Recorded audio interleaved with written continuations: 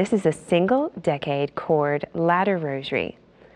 The single decade rosary is designed in such a way that once you pull the bead down, it stays in place. So if you have to leave your prayers for a minute or two, you can easily resume exactly where you left off. St. Therese of Lisieux used a similar style string of beads as sacrifice beads. So she would pull a bead down each time she did a loving act of kindness or self-denial for God.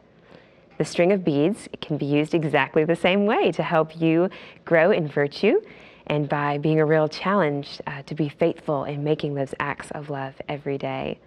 The single decade rosary consists of a crucifix, you see here, followed by 10 brown wood beads, um, Our Lady of Mount Carmel, and the Sacred Heart of Jesus on the reverse.